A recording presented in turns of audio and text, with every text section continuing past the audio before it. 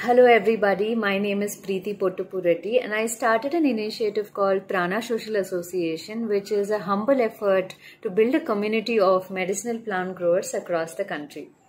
We started off with this plant called Lakshmi Taru which has anti-cancer properties and also immunity building properties. This plant has been researched for 30 years by two botanists, Dr. Shamsundar Joshi and Dr. Shanta Joshi, and they treat cancer patients with this leaf powder every single day in their residence, Nati Nagar in Bengaluru. So friends, this is a valuable tree. We wanted to plant these as a tribute to one of my friend, Dimpy Das, who passed away due to blood cancer in 2015.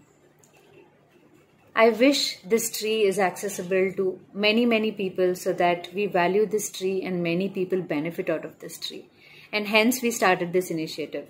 Friends, the seeds are free, only postal charges are applicable.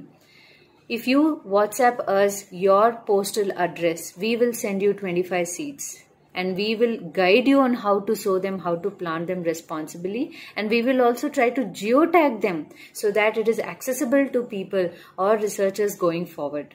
So it's a small, small step that you can take wherever you are located in the country and we will send you the seeds right to your location. You just have to make some time, sow them responsibly and plant them, donate it to people who will need it and who will take care of it. We will send you the details as in how to use this plant once it matures. You just have to message us and we will reach to you. Thank you so much.